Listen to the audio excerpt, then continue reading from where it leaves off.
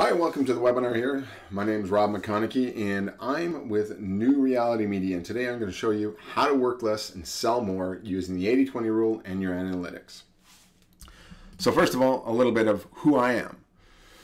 Uh, my name is Rob McConachie, as I said.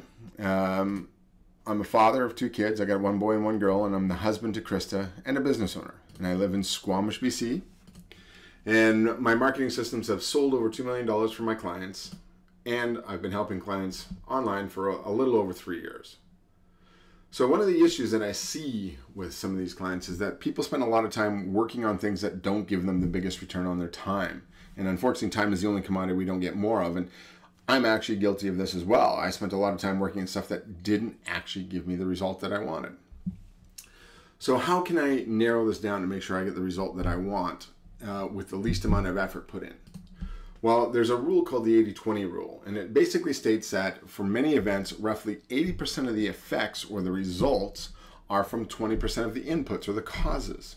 So we want to find what that 20% is that will give us 80% of the results.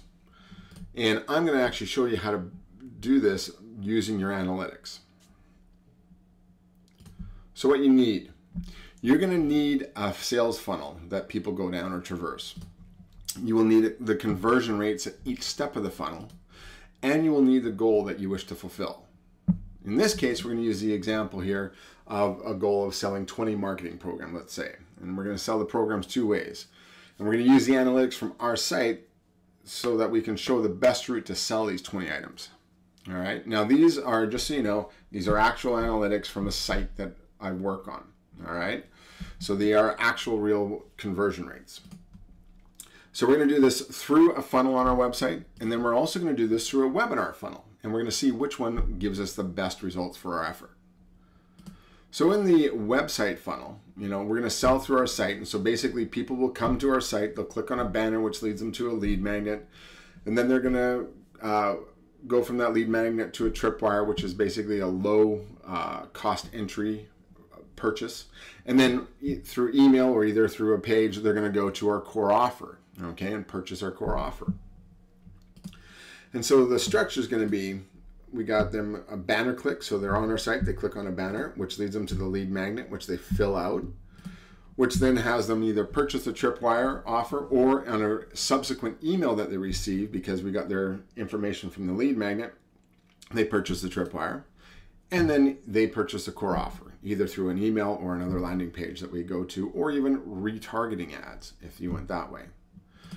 And so the conversion rates for these, for the banner click is 8.5%. For the lead magnet is 25.8%. So that means of those 8.5% that clicked on the banner, 25% of those took the lead magnet and filled it out. 7.6% uh, took the tripwire, and of those 7.6% that took the tripwire, 12% of those purchased the core offer. So now we do a little math. And don't worry, it's pretty easy math. So basically, we have over here the 20 items that we want to sell. So this is what we have in the end. And then we have all of the different percentages of conversions here. So this was the banner click, the lead magnet, the tripwire, and then the core offer. And then we got it, the last number here is X because it's the unknown amount of how many people does this have to go in front of for us to find those 20 or sell those 20. So if we change this around a little, if you remember, if we put x on the other side of the equation, we can do 20 divided by all of those percentages. And that works out to 96,000 people. So this means that we need to get 96,000 people to view our site to meet our sales goal. So that's going through the website funnel.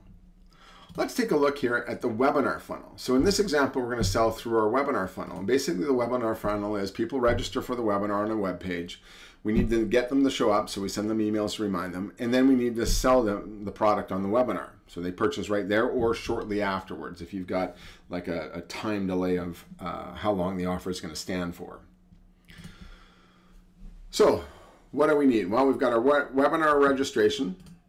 We've got our webinar attendance, and then we've got our webinar conversions. And so those numbers are we get 30% of the people showing up on the webinar page actually fill out the page.